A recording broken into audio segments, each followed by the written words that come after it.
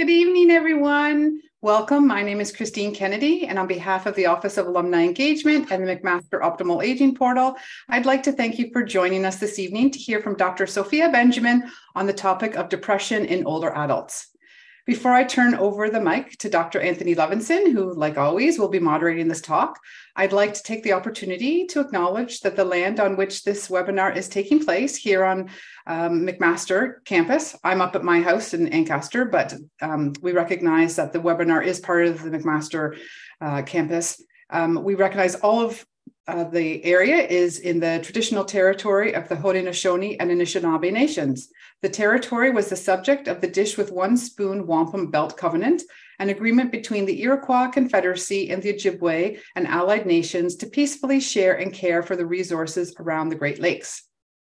Just a reminder, this webinar is being recorded and we will send out a link with the recording. If you have any questions for our speakers today, Dr. Levinson and Dr. Benjamin, feel free to type it in the Q&A section. Now, as always, we always get inundated with questions beforehand and uh, tonight they have woven many of those pre-submitted questions into the presentation so we'll try to get to the live q&a but uh, due to overwhelming um, demand with the, the original Q&A questions, we may not get to, to many of the live questions.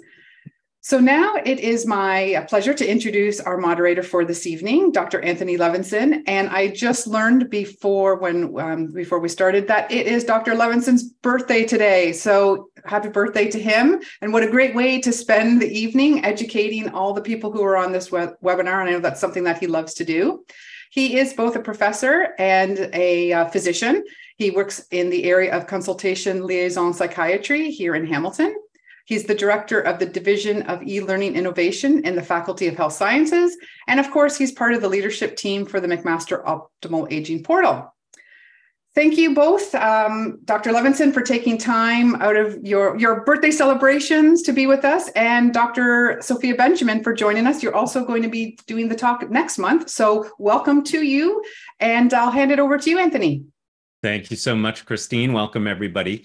And uh, I'm excited about tonight's talk. And thank you, thanks everybody for sending so many great questions in advance as well. So just uh, by way of brief introduction of my colleague, Dr. Sophiya Benjamin is a geriatric psychiatrist and an associate professor in our Department of uh, Psychiatry and Behavioral Neurosciences here at McMaster.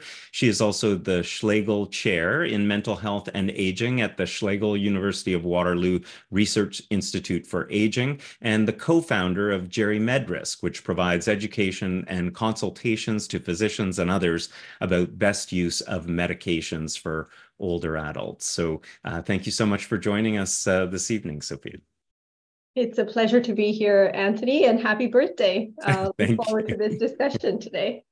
Um, Thank you so much. So uh, maybe kick us off with a quick overview. So, over the next hour, uh, Anthony and I will discuss the assessment and diagnosis of depression. We'll discuss treatment and management strategies, as well as present some resources uh, around this area. Uh, I think the key takeaway that I would say is depression is a very treatable illness with multiple treatment options. And hopefully, over the next hour, we'll convince you of it.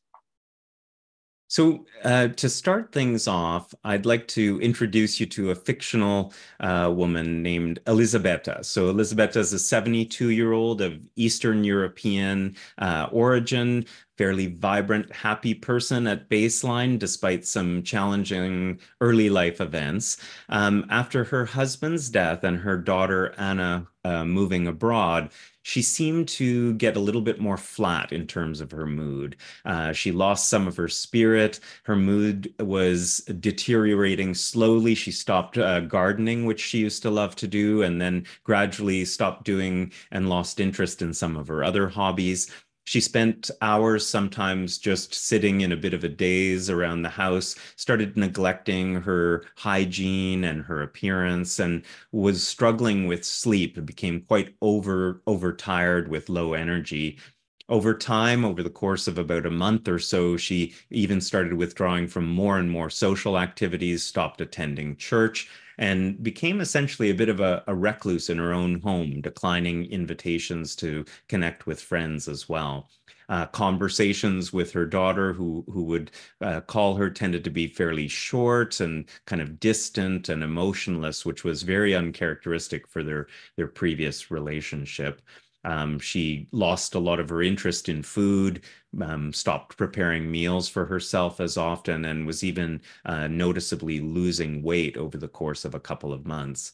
Sometimes she'd sit in front of the TV for hours, but couldn't really focus on either the news or the plot of her favorite show. And she even thought her memory was going because she was uh, forgetting to take her uh, prescribed medications on occasion she really also started to have more negative thoughts as well that she maybe didn't deserve to live in her nice house and um, started to feel a bit like a burden uh, to her daughter.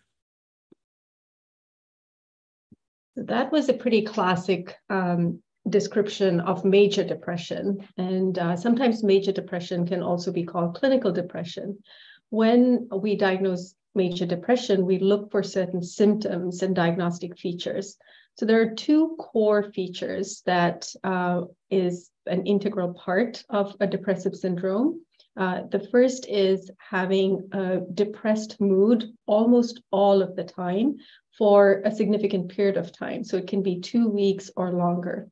Some people, rather than experiencing a pure depressed mood, may ex uh, experience anhedonia. And what we mean by this is a lack of pleasure or lack of ability to derive joy or um, engage in uh, activities that were once of interest to them. So when people are not able to do this, that is another core feature of depression.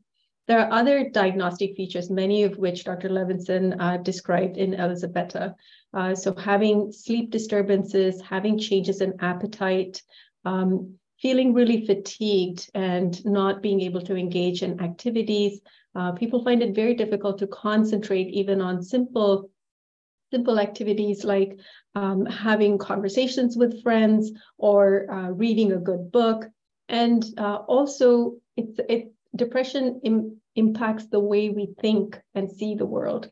And uh, sometimes we can feel really guilty about uh, things that we feel like m- we might have done, uh, feelings of worthlessness. So, all these are very common in depression. And finally, and very importantly, many people with depression experience suicidal thoughts. So, thoughts of wanting to die. Um, and many of them can even attempt um, um, su- uh, suicide. And so it's really important to check for these. And as as you said at the beginning, to the you know this is more than just a brief bout of the blues. This has to last at least two weeks where people feel like this most of the day, every day, uh, most days, and really has an impact on day to day function as well. Absolutely. The the interesting thing about depression and major depression is we don't actually fully understand uh, all of the causes or exactly what causes it. Uh, there are quite a few theories. It could be more than one thing or combinations brain chemistry is one of the um, thoughts, in part because um, medications work on different nerve cells in the brain. So, um, one theory is that there's an imbalance between different types of neurotransmitters, things like serotonin or, uh, or dopamine, uh, that may lead to the development or risk of depression. Uh, genetics seems to be an important factor. If you have a first degree relative, uh, you're at about three times uh, the risk of developing depression versus somebody who doesn't have a family history of depression. Though even people without family histories are um, can develop a depression as well. Stressful life events such as the death of a loved one, uh, a major trauma, adverse childhood experiences, uh, a divorce, social isolation are all potential uh, triggers for depression. Uh, a variety of medical conditions, having uh, chronic pain or coping with serious illness, chronic illness, uh, can lead to depression and many medical conditions that affect the brain, as we'll uh, talk a little bit through some of the questions, um, are at increased risk of developing depression, things like Parkinson disease Um, and then uh, substances and medications can also be associated. So uh, some medications may put you at increased risk, things like steroid medications. And then uh, substances like alcohol can either cause or make uh, depression worse. So there are some risk factors that older adults are particularly uh, vulnerable to when it comes to developing depression. Um, as we know, as we age, uh, it can be a time of many losses, both of people we may love and becoming socially isolated. So these are particularly important risk factors for developing depression. In addition to this, having memory difficulties, developing chronic medical conditions that uh, can sometimes cause pain, sometimes be difficult to manage, all of these can also be risk factors. When we see someone who um, is finding it hard to take care of themselves, neglecting their personal care, uh, is not eating, uh, it's another sign that they should be screened for a depressive illness. Uh, late life can also be a time of various transitions. Uh, sometimes there could be prolonged hospitalizations. People may receive diagnoses of dementia and move to long-term care. And these are all times when individuals are at higher risk for developing depression. So how do we assess for depression. Uh, often it may start with uh, someone suspecting this, uh, either a family member who alerts a family physician, and a screening tool may be completed. So, two commonly used uh, screening tools for depression one is the geriatric depression scale, the other is the PHQ 9, uh, both of which are self report scales and can be done at a primary care level. But it's important to remember that screening is not diagnosis. So after the screening, and if someone po scores positively on this, then the next step is to do a comprehensive assessment. And there are various parts to this. The first is to understand the current symptoms of depression, how severe it is, uh, how it impacts functioning, it's also important to understand what other medications the individual is taking and other medical conditions that they may have. So a detailed medical history is a part of it. We also try to understand the person's family history. So those who have mood disorders and other psychiatric illnesses, uh, it's important to know, for example, if they have a family history of bipolar disorder, because sometimes an antidepressant can unmask mania in someone um, in who has a family history of bipolar disorder. So these things are important to elicit in the comprehensive exam. We also do a physical exam to rule out certain medical conditions that can look like uh, depression, and Dr. Levinson will talk about some of these examples. We order lab tests, again, to rule out these medical conditions. And once we have ruled out things that can look like depression, um, and the person has uh, the necessary criteria, then a diagnosis of depression can be made. Some elements that um, I often see in older adults uh, is that people can present with memory complaints almost as a primary complaint, or with physical symptoms like pain or fatigue um, and sleep problems. And sometimes this can mislead um, the, the diagnostic process into something else. So that's why the comprehensive interview is really important. Uh, and it's also critical that we assess for suicide particularly in uh, older adults, older men have a higher risk of completed suicide compared to the rest of the population. Occasionally, people might present like they have anxiety. Uh, and on further interview, we might understand that this anxious distress is a part of a larger depressive syndrome. So, if we were sort of putting it in uh, all of that information in context uh, for Elisabetta, it might go something like this, where she goes to see her family physician. Her family doctor might uh, even book the last appointment of the day to spend a bit more time with her, because uh, a comprehensive assessment can take more time. She would take that thorough history to try and understand the symptoms that she's been having and how she's been managing in terms of day to day activities uh, she may ask Elisabetta to fill out a questionnaire like the PHQ-9 and uh, possibly do a brief cognitive screen as well if uh, she's subjectively complaining about memories, memory issues. And then it would be typical that her doctor might order some basic lab work, like a complete blood count, uh, thyroid function test, basic electrolytes, and possibly something like a vitamin B12 uh, to check for deficiency. And then she would book a follow up to see her within one to two weeks, for example, review the results. And in this case, Elisabetta's lab works and investigations have all come back uh, within normal limits, essentially, uh, at least a preliminary way of ruling out uh, a medical cause for her depressive symptoms she diagnoses uh, Elisabetta with major depression, and they begin a conversation together about the various treatment options available. So one of the important things that we've talked about is this ruling in and ruling out. So what are some of the things that might uh, look like depression, but actually be due to another condition?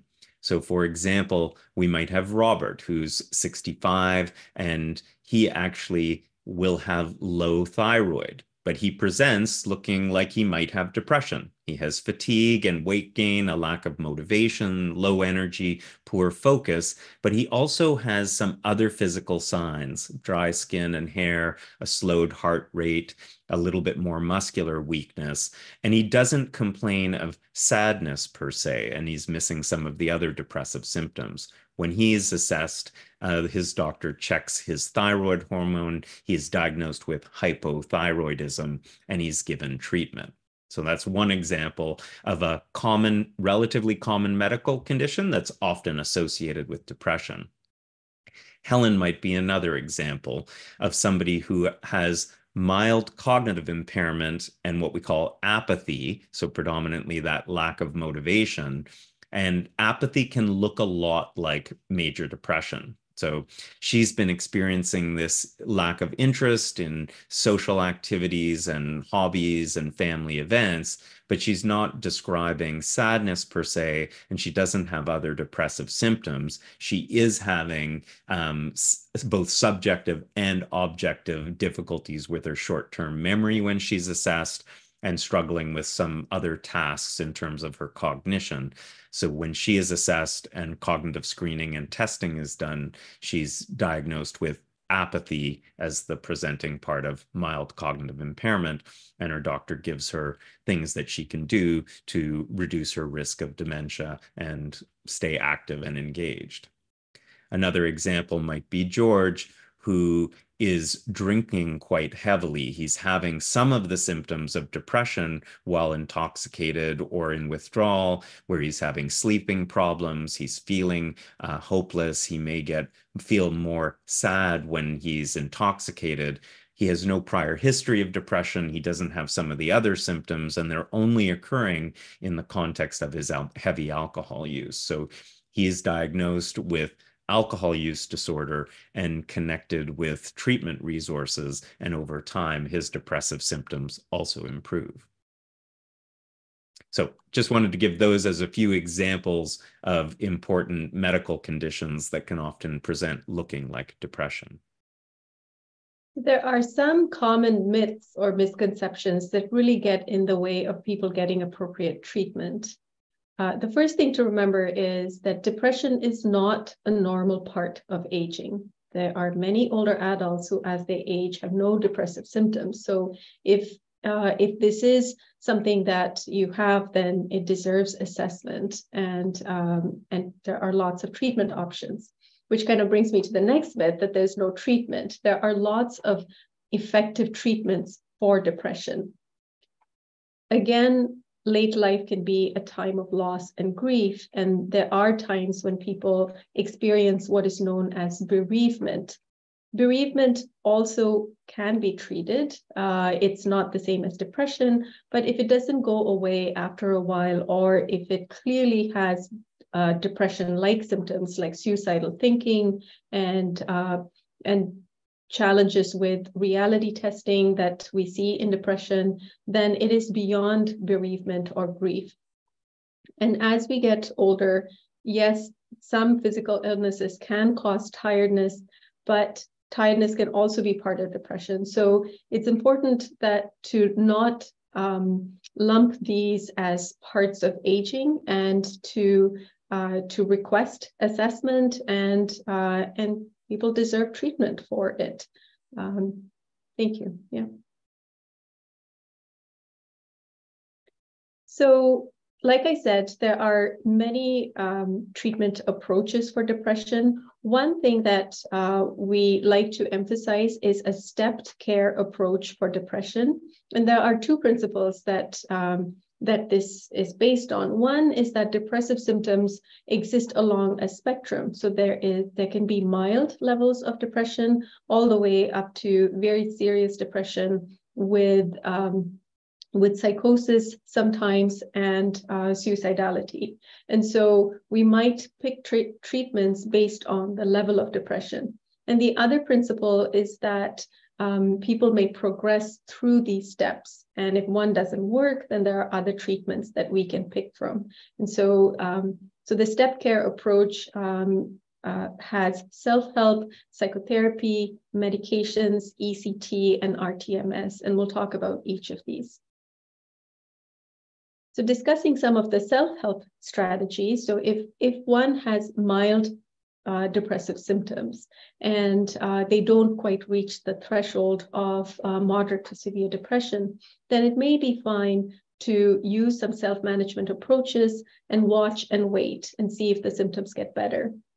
So some of these include providing education about depressive symptoms, as well as about resources and supports that are available.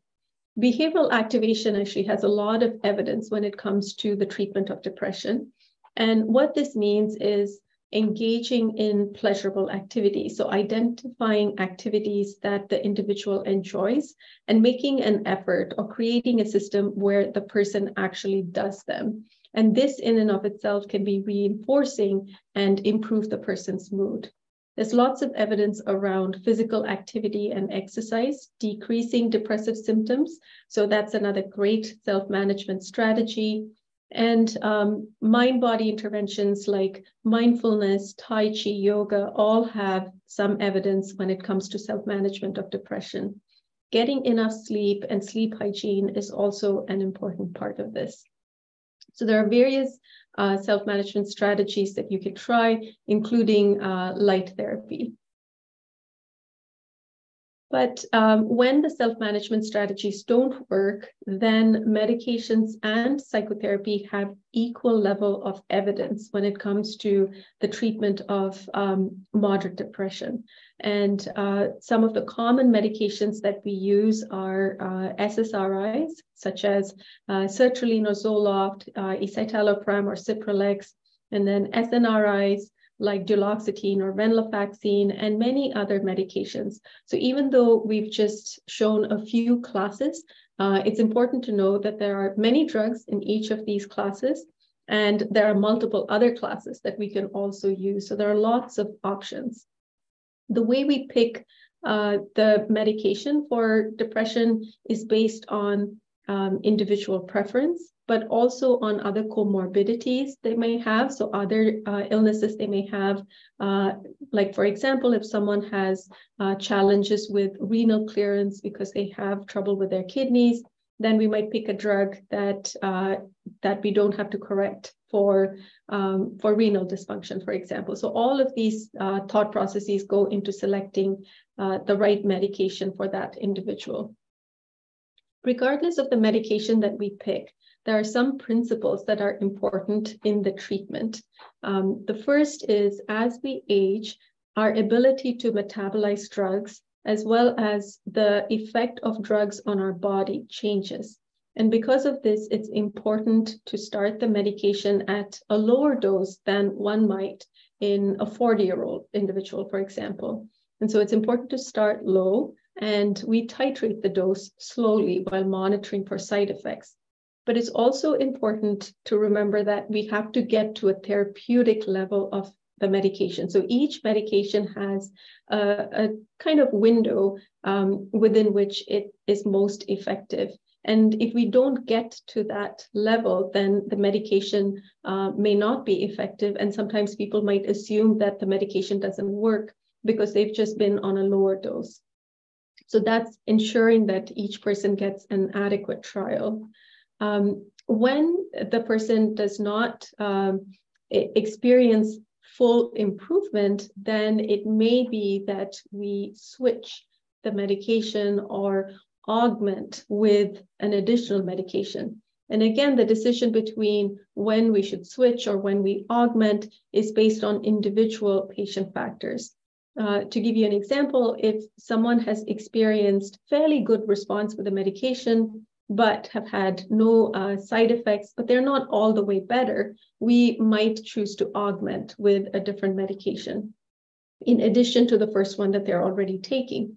But if they started a medication and they have a lot of side effects or they've had very little response, then in that person, switching might be the right option. So it's really a conversation with uh, the care provider and the individual receiving treatment about whether to switch or augment. It's also important to remember that psychotherapy is a great augmentation strategy for many individuals.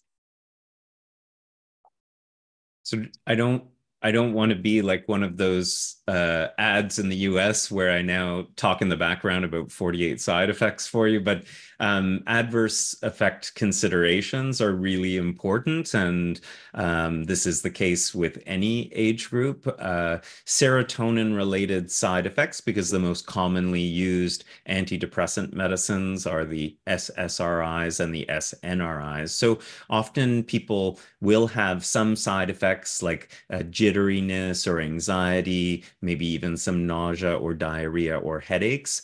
Those are sort of relatively frequent, but tend to go away after a week or 10 days. Um, but one of the rationales for starting the dose lower is to make sure that people can tolerate the medication with fewer side effects.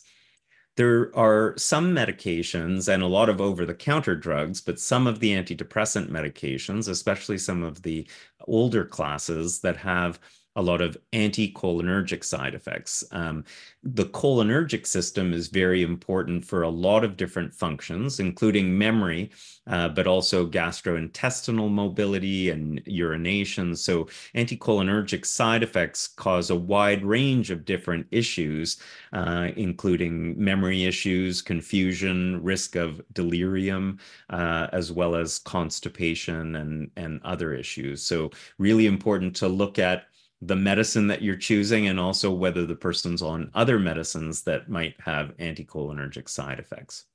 This general principle, especially as many older adults may have other medical conditions and be on other medications, being attuned to whether there are any interactions between the antidepressant that you're looking at and the other medications that might be uh, necessary for managing the person's chronic diseases. So having a good understanding of the coexisting medical conditions, medicines that they might get started on, drug interactions becomes really important. Well, this is not super common, but um, there is a side effect to many of the SSRIs, uh, particularly that is seen in older adults more frequently than in uh, younger people. And it's this syndrome that causes the sodium in the blood, one of the electrolytes, to to become very low, in some cases dangerously low. And people may not realize it, but they might feel nauseous or tired or a bit lightheaded. And then when they go to get blood work uh, done to see what's going on, their sodium may come back low, and it's a it's a chemical that's very tightly regulated in the body, and uh, so that that's one of the things that we sometimes see in the uh, the medical context of the hospital, and uh, it sometimes means you have to switch to a, medica- a different medication, a different class. There's a very low risk of bleeding with um, SSRIs. It's probably about the same as um, being on an aspirin, but a lot of people are on blood thinners anyway. And it's important for people to realize that uh, they may be at an, a slightly increased risk of uh, a GI bleed, a gastrointestinal bleed. Um, so just giving people a heads up, knowing that if they do see any kind of blood in their stool, uh, or if they develop an anemia, keeping in mind that um, the, the SSRI or SNRI may be associated with that slight increased bleed. Um, rarely as well, the, the, the medications can cause an increase in what's called the QTC. And this is something that you see on an electrocardiogram.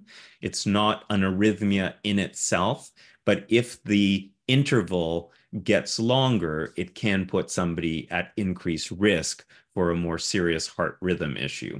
So often in older adults, before they're started on any antidepressant, we will get an EKG to um, to see what their QTC interval is like before even starting the medication.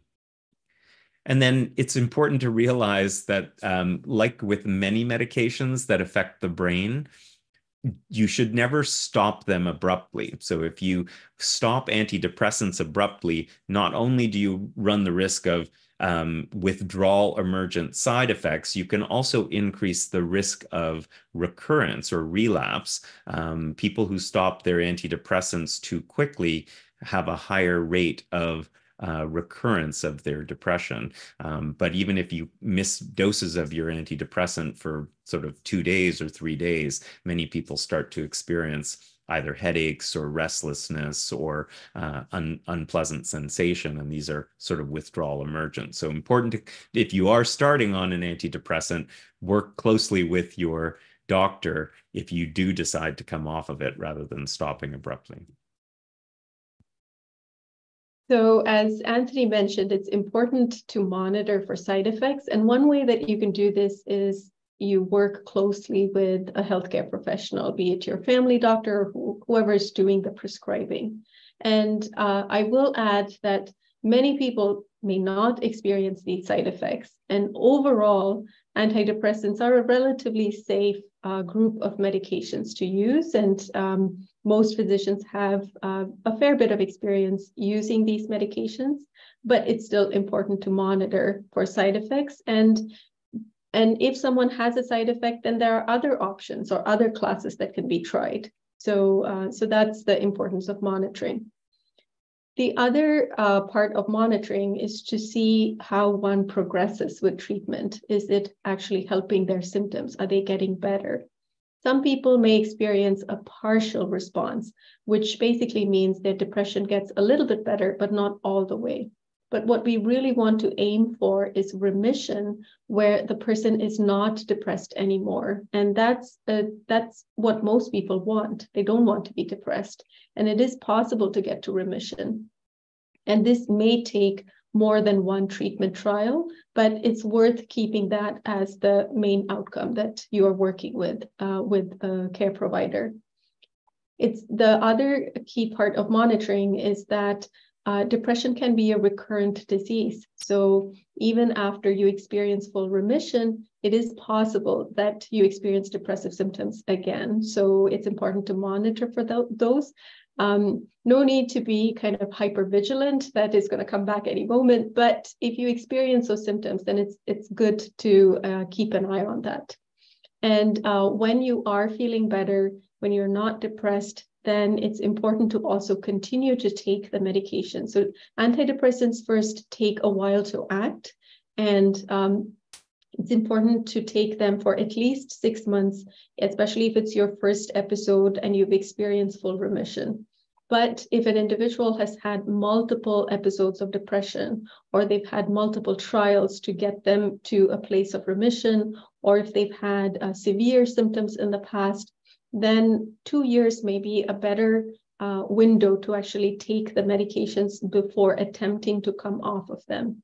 And there are some patients um, who I work with who choose to continue to take those medications beyond two years because they feel that the risk of experiencing a relapse um, at their stage in life is not worth the risk. So each person's timeline is different, and you'll work with your physician to determine what's best for you.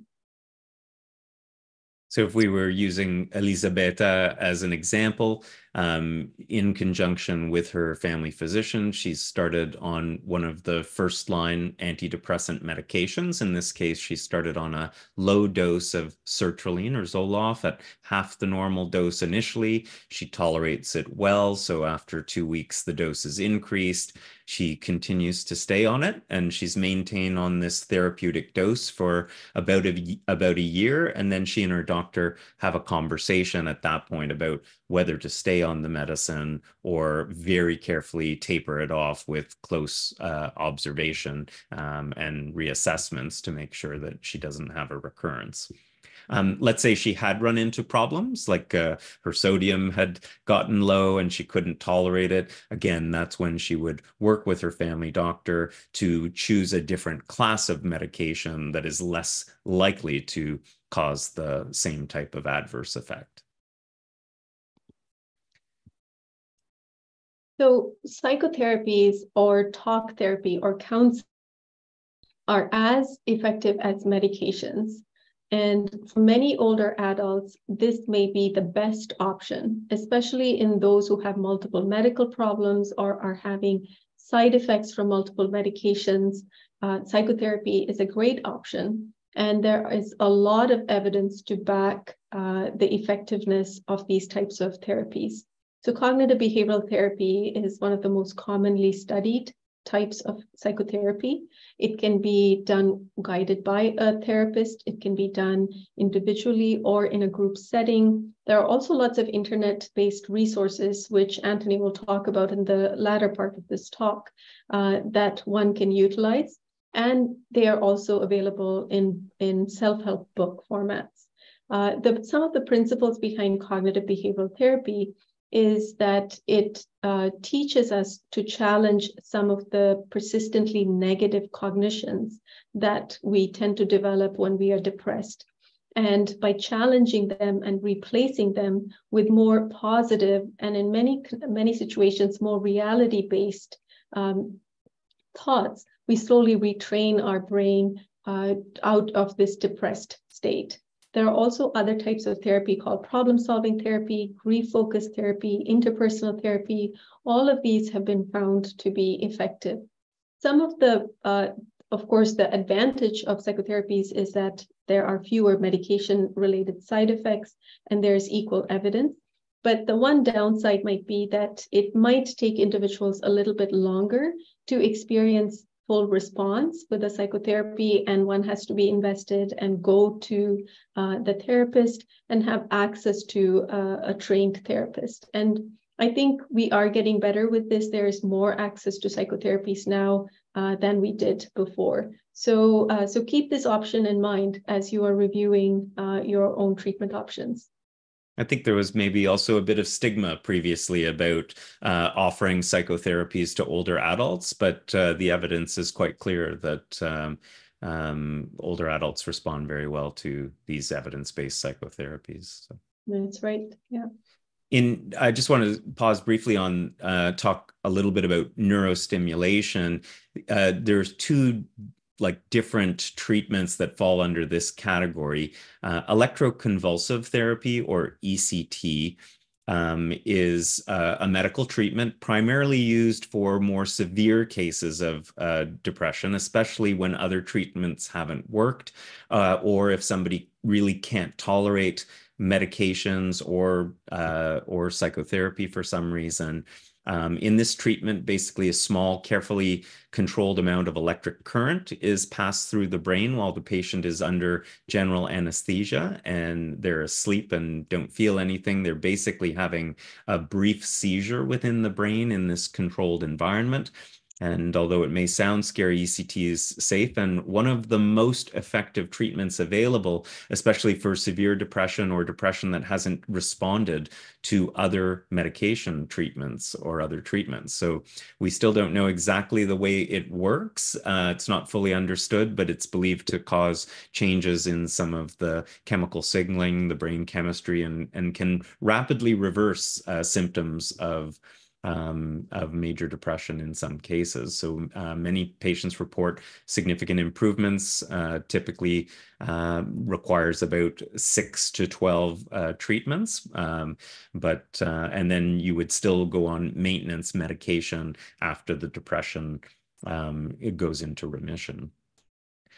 RTMS or repetitive transcranial magnetic stimulation is another sort of a, a neurostimulation treatment. It's not offered in quite as many uh, centers, but it's a non-invasive treatment for depression. It involves using a magnetic device or a coil placed on the scalp to deliver uh, a magnetic pulses to specific parts of the brain. Um, they stimulate brain cells in those areas involved in mood and mood control and depression. Patients awake, like you're not um, under anesthesia for this. You're alert during the procedure, doesn't require anesthesia. Typically has very few side effects. Some people will have a mild headache. Unlike ECT, uh, the RTMS doesn't cause a seizure. Uh, it's a good option for individuals who may not be able to tolerate uh, ECT or haven't responded to antidepressant medications or want to avoid the side effects. There's still quite a bit of research being done on you know what are the optimal settings and treatments so uh, while it is offered in some centers in a lot of other centers it's uh, still being it's considered like more understudy, or you may have to enter clinical trials and um, uh, mcmaster has um, a center where they're doing more and more research with uh, advanced techniques around that. So again the exact way it works not totally understood as well but um, maybe a, a safer alternative to ect for some patients who are not responding to other treatments so once uh, someone has experienced remission from depression, there are things that they can do to prevent a future episode. And these are very similar to the self-management strategies that we talked about. Uh, this includes exercise. So there's a lot of evidence to show that physical activity uh, significantly decreases the odds of developing a depressive disorder. Uh, self-help books or bibliotherapy um, practicing mindfulness based stress reduction, as well as reducing social isolation or loneliness. All of these have been shown to prevent depression and, um, and worth considering as a way of uh, maintaining one's remission, as well as just um, healthy practices to prevent uh, getting a first episode.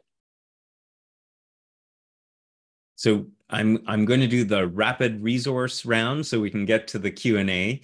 Uh, but I will ask uh, Jessica to share uh, with everybody uh, a handout. Um, this will be sent if you're watching on YouTube Live. We'll send this out by email as well. Uh, the every resource that I'm going to rapidly touch on now is um, included in in the handout. So um, a lot of the evidence-based uh, guidelines that Sophiya and I have been talking about are produced by the Canadian Coalition for Seniors Mental Health, the CCSMH. They also do have resources on their site uh, about depression and uh, education for the public. Health Quality Ontario produces quality standards on various conditions. And a few years ago, they published a quality standard on care for adults and adolescents with major depression. And they have some really um, good recommendations for what to expect with quality care, such as a comprehensive assessment and how long you should have follow up. And they have a variety of resources, including a patient guide, as well as the full quality standard, which is based on high quality evidence. This is uh, not as well known a resource, but is actually a very good in-depth resource that goes into a fair amount of detail about different treatment options in particular for uh, depression. So it's produced by uh, CANMAT, which is an organization that produces uh, guidelines in Canada around depression and mood disorders. And uh, this patient guidelines choice D, it's also uh, it's a, a, free downloadable PDF and is also available in several languages on their website as well. So again, the link is in the handout that I'll be providing. And uh, as far as community resources, so Sophiya spoke about, you know, some of the preventative guidelines and and ways to um, avert social isolation, be more active in the community. Uh, 211, which you can phone pretty much anywhere in Canada, or you can go to 211.ca, is basically a, a, an enormously helpful inventory of community and social systems and, and programs. So if you are looking for pretty much anything in terms of community and and the social system in your community. Call 211 they'll provide advice to you. You're looking for childcare you're looking for uh, a day program for activities. Uh, you can you can pretty much locate anything through them the YMCA offers great programs for community environment on the YMCA website. You can find your local YMCA. They're across the country, and uh, they offer lots of programs for um, older adults and, and others to stay active and engaged uh, and physically active as well. Wellness Together Canada was an initiative by the federal government and others that uh, was spawned, I, I, think, during the pandemic. But um, they have uh, lots of information in terms of where you can access supports. They also have a helpline and uh, they have good educational content uh, on their site as well. One of the uh, programs that was developed and now is hosted by the Canadian Mental Health Association is called Bounce Back. It's informed by cognitive co cognitive behavioral therapy, and it is essentially a free program. It does use CBT techniques. It works on skill building in terms of some of those, uh, helping to analyze your cognitions. It's available to adults and youth uh, over the age of 15. Um, you can self-refer. Uh, they also do like it if your primary care provider is aware of the referral. They offer sort of some more in-depth, uh, but also some uh, more like self-help uh, types of programs and has been shown to reduce depressive and anxiety symptoms. The Ontario Structured Psychotherapy Program, I know not everybody here is from Ontario, but uh, I suspect in some of the other jurisdictions, there may also be uh, now uh, efforts to improve access to structured psychotherapies like cognitive behavioral therapy. So in Ontario, this is a relatively new program where um, psychotherapy based on CBT is funded by the government. And so you can get a referral um, and uh, information you can find uh, online. And I have the link in the handout. Uh, they'll do therapist led CBT, or they can also um, connect you with a program like Bounce Back if you're looking for something less intensive. This is a paid service uh, that is basically therapist guided internet CBT. Uh, it was funded uh, during the pandemic, but since uh, Ontario has launched their structured ther psychotherapy, it's no longer funded.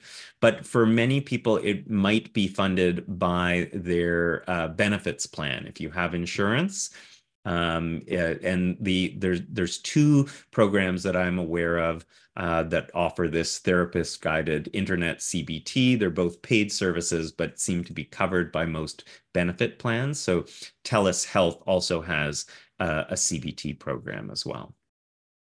For those of you who are looking for more self help type of meditation or mindfulness. Um, Headspace is a very good app. It is a freemium premium, so uh, there is a it's fairly steep cost. It winds up being about eighty bucks a year, I think, uh, ninety bucks. But um, it is it is very good uh, for meditation, for sleep. They have uh, uses principles of mindfulness, tends to have very high reviews. If you're a Netflix subscriber, they had some content on there as well. Two other good apps, one of them is free. One uh, Calm is very similar to Headspace. It's also a paid app. Uh, the Healthy Minds program was developed by a nonprofit and uh, also has simple, well-structured uh, meditations. So uh, that's one that you could try. On the bibliotherapy front, I would say one of the most popular books, even for people who are working with therapists, is one called Mind Over Mood. It's excellent. It has sort of a workbook type quality to guide you through.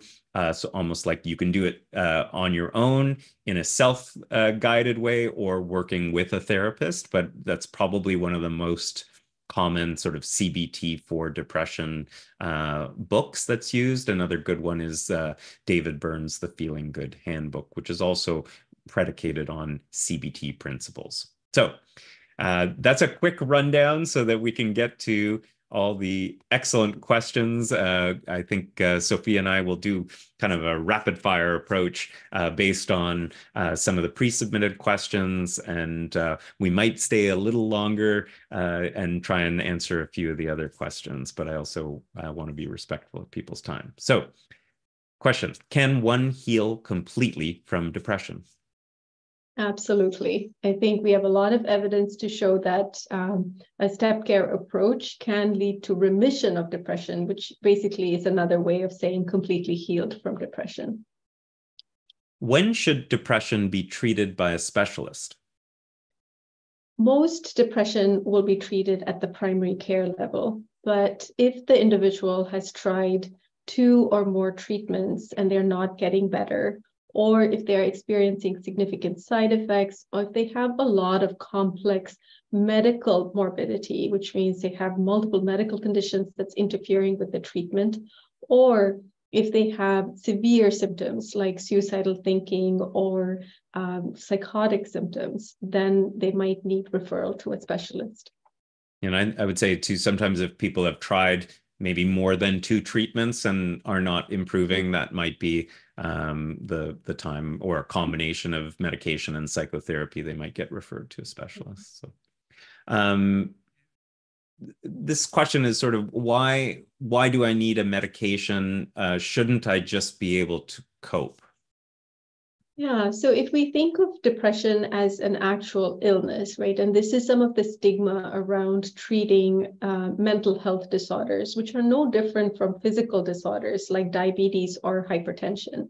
And uh, we may go for a good part of our life being able to control hypertension with exercise, or maybe it just didn't manifest until later in life.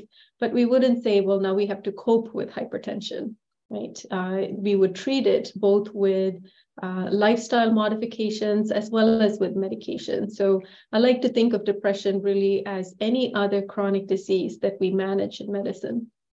And, and I think it is an interesting uh, angle. Like, there's a few other angles to this short question, but it's like one, you might not need a medication. Like, if you have a major depression, psychotherapy might be uh, an appropriate um, modality for you.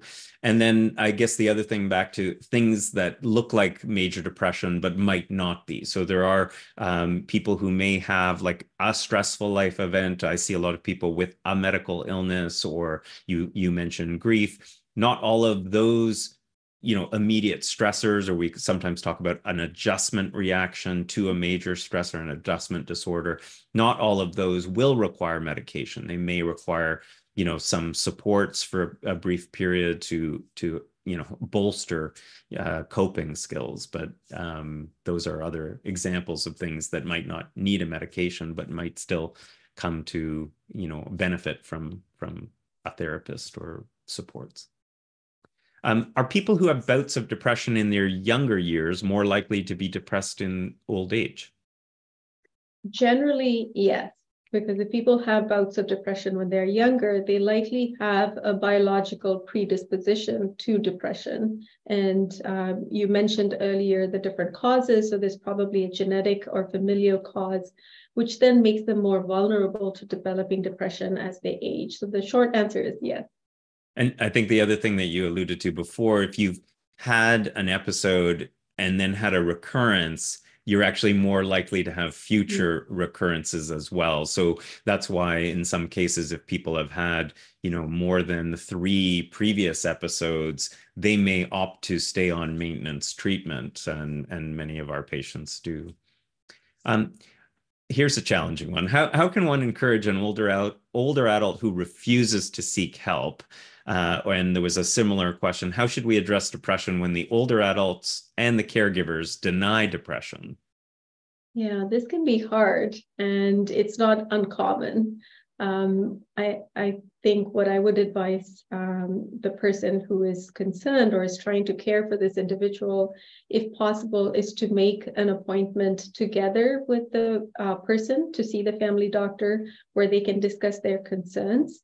Uh, and the family doctor might be able to do the assessment and might be able to encourage them to take treatment.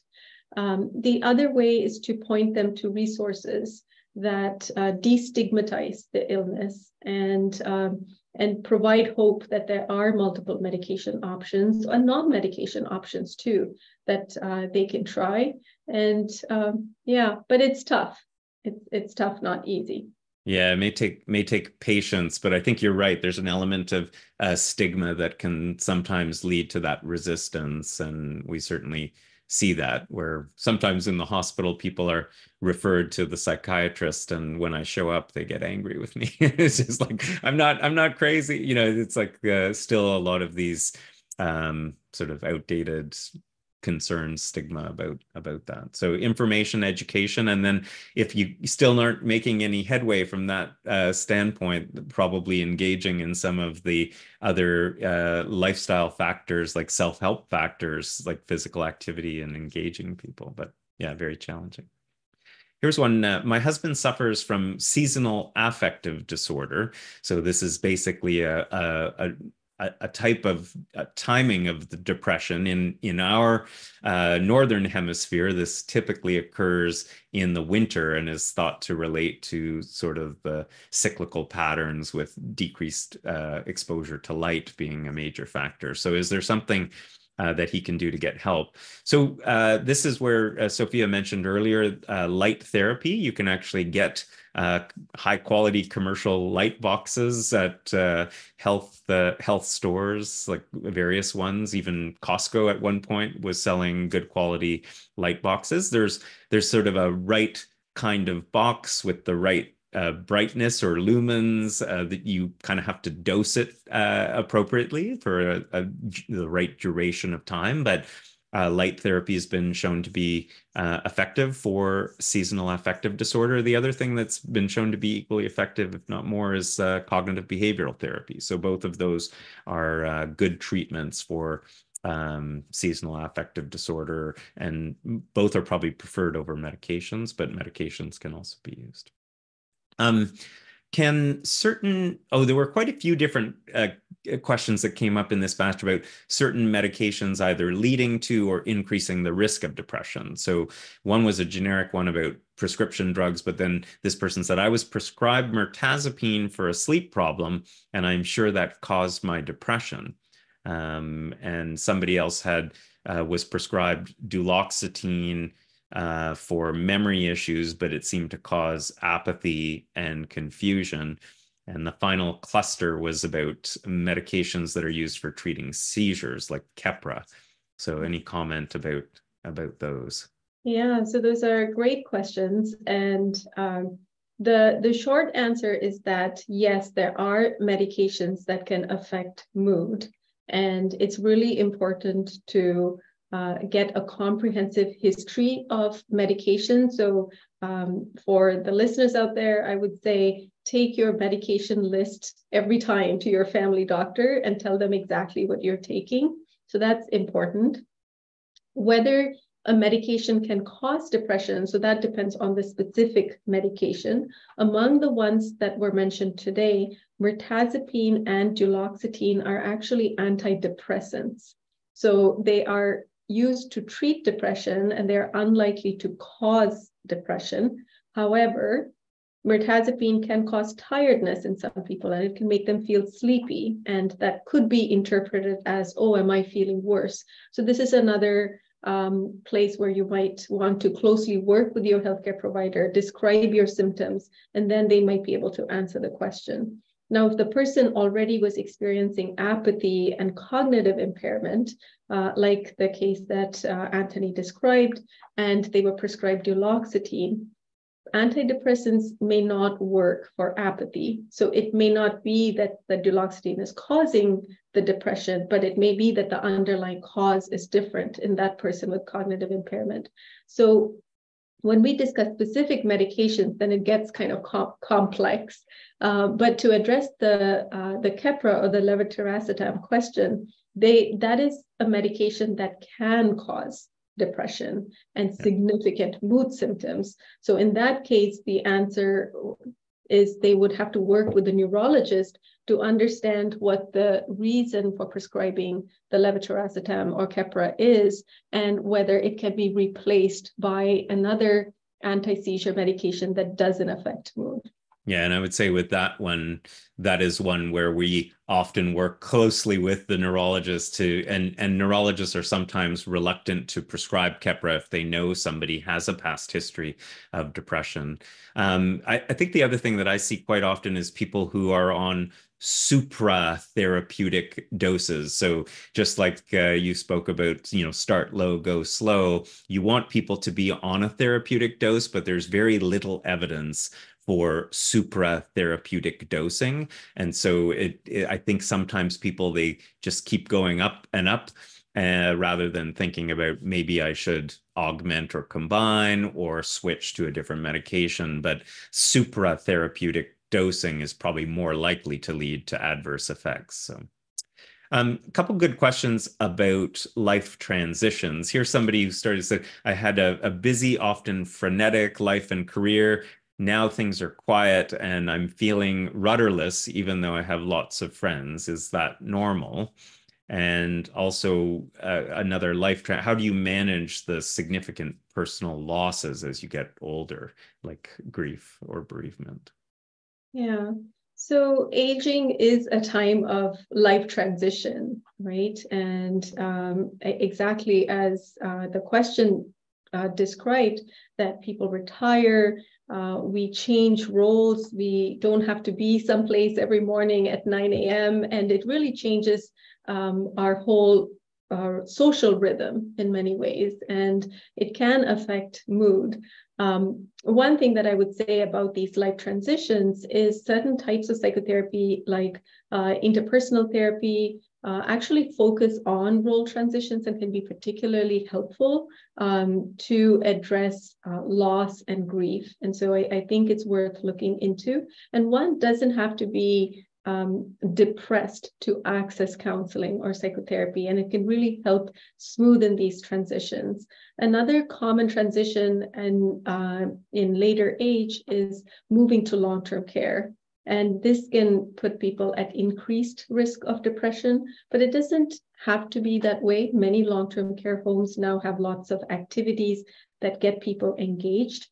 That being said, um, I see patients in long term care, and I will say it is a tough transition. Like when we yeah. think about it, we are used to living in a home where we make the rules, we can do what we want. People are not watching i mean it's not that people are trying to watch you in long-term care but it is a communal living environment and so it can be a tough transition and uh, trying to put in as much social support around that as possible and giving them some time to adjust uh, is helpful because many of them do transition well and eventually don't have depressive symptoms uh, but there are some who will develop depression during this time and for them it's important to get help to uh, talk to their family doctor and maybe even get a referral.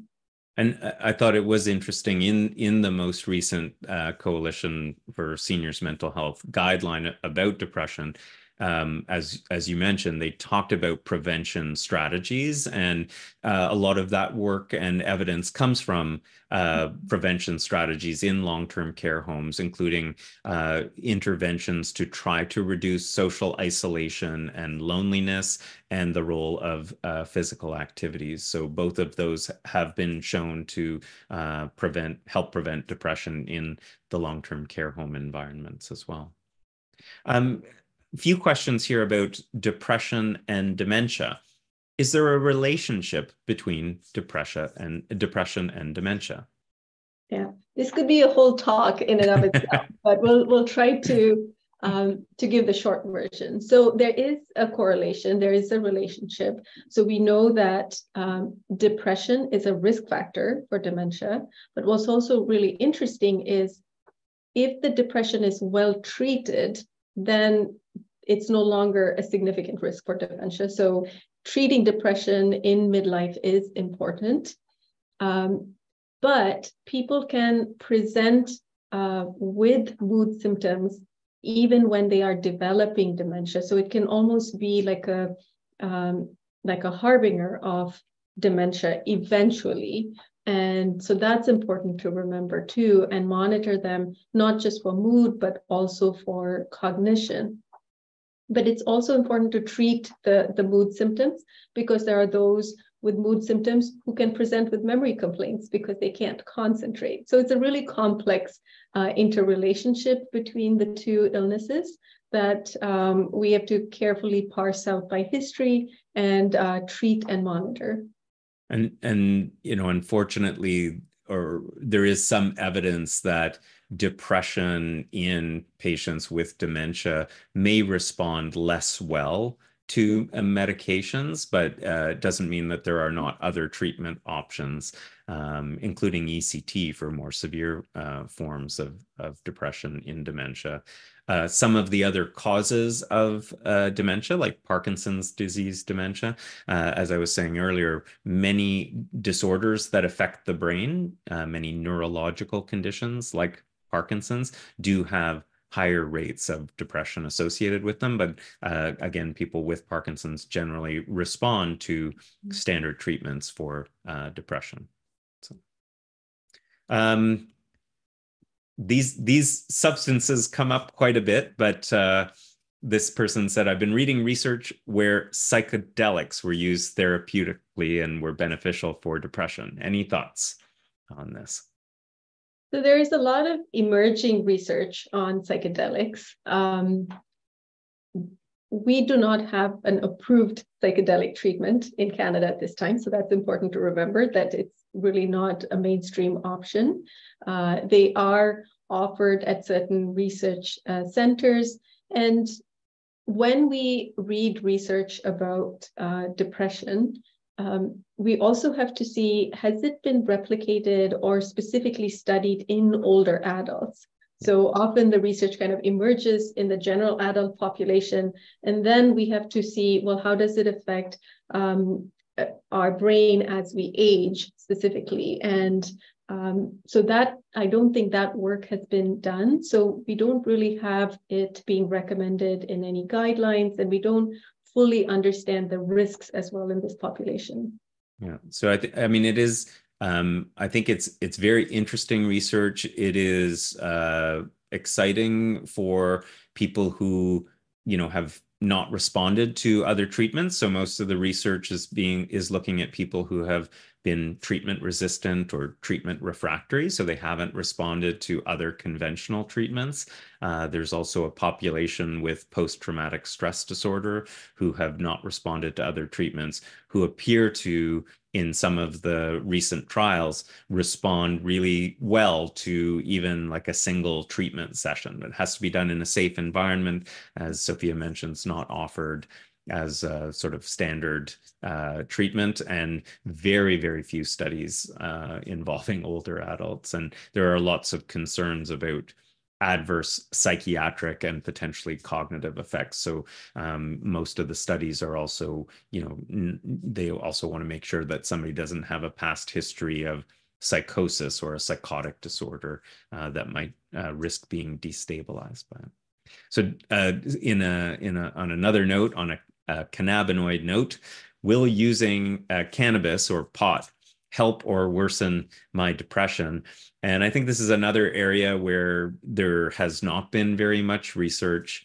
Um, we know that uh, inhaled or smoked cannabis is certainly bad for your lung health, uh, but there really haven't been enough high quality clinical studies where they've controlled, you know, the dose and the route of administration. So um, McMaster has been lobbying through the DeGroote uh, uh, Center for Medicinal Cannabis uh, Research to improve the quality of clinical trials in this area. And I know they are actively looking at uh, uh, the research literature. And I just don't think there is enough um, high quality science and evidence at this point to uh, either recommend for or against, other than, you know, there are certainly a risk of adverse effects uh, in older adults. And, um, you know, there are also a lot of older adults though who may have uh, comorbid conditions like cancer. So they people with cancer um, often are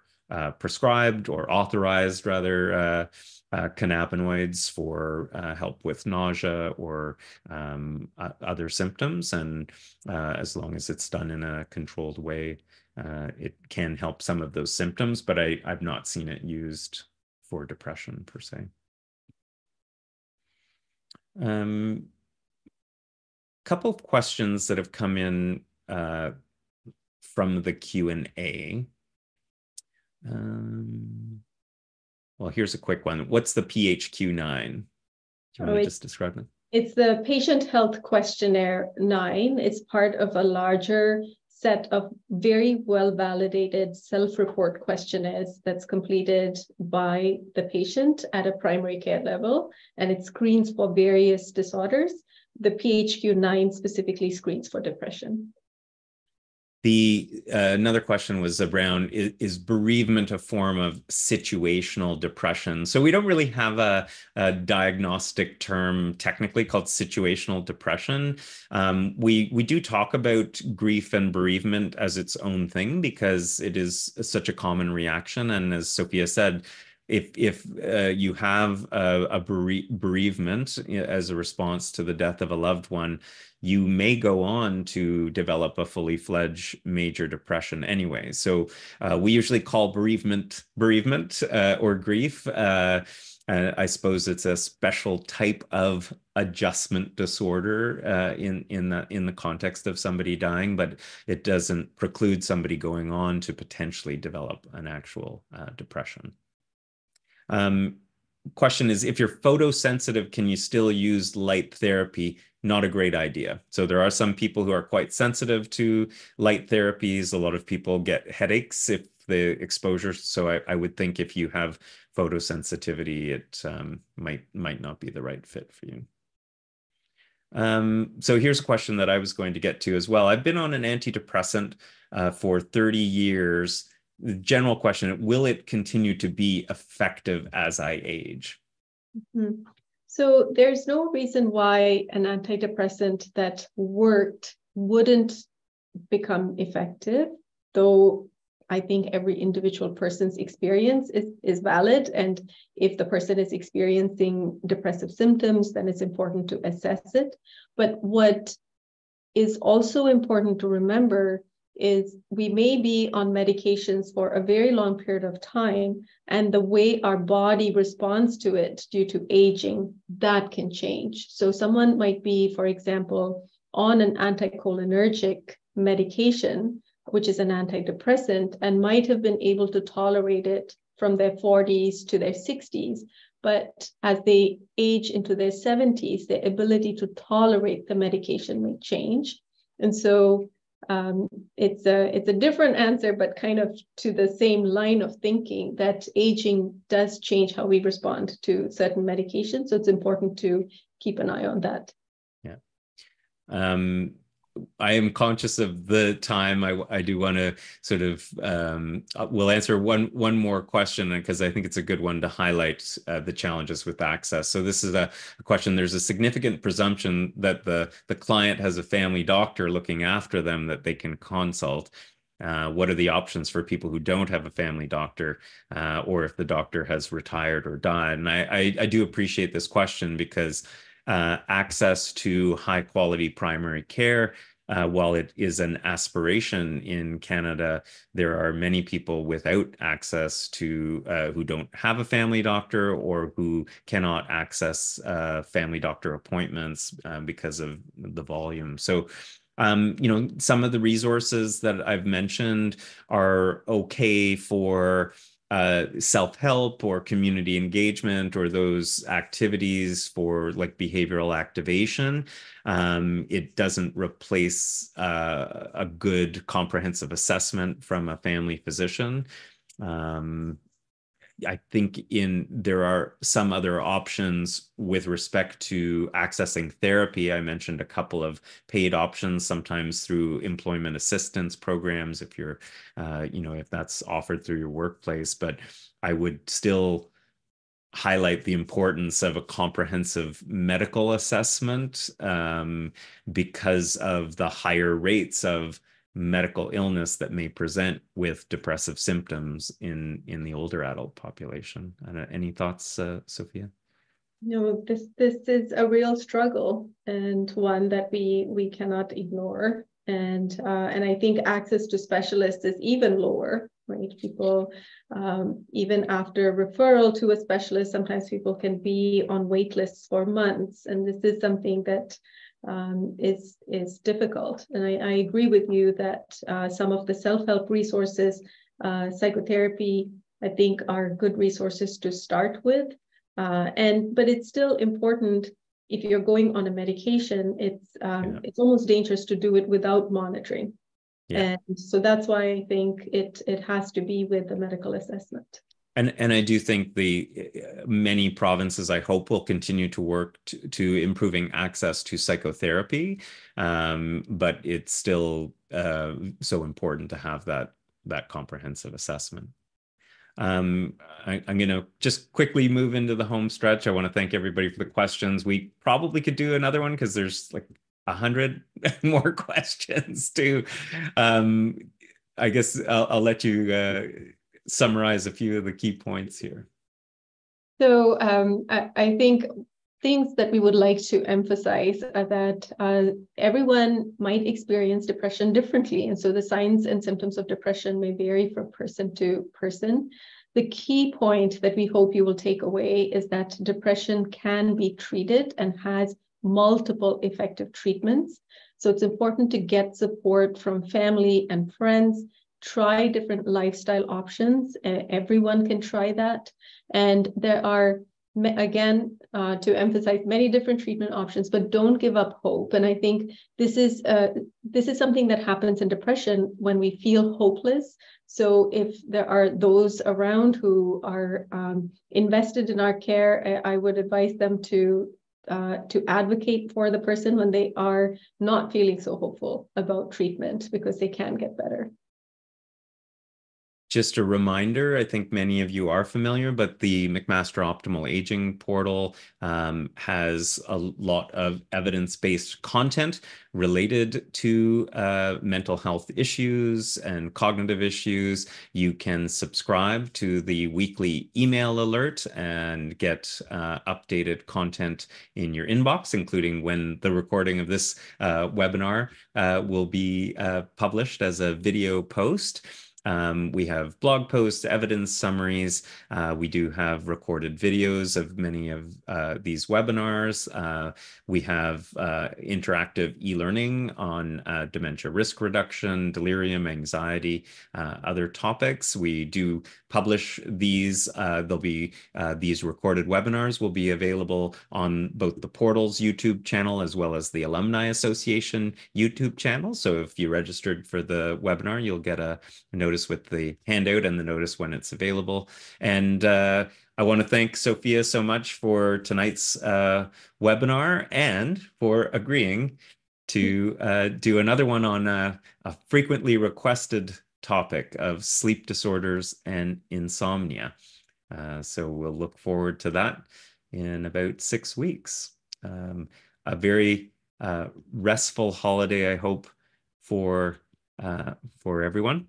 And uh, please fill out our evaluation form. We'd love to know what other topics uh, you'd like to hear from us about in uh, the new year. And I want to thank the Alumni Association and the portal again, as well as our special guest star, uh, Dr. Sophiya Benjamin. So thank you and hope to see you next month. Thank you, Anthony.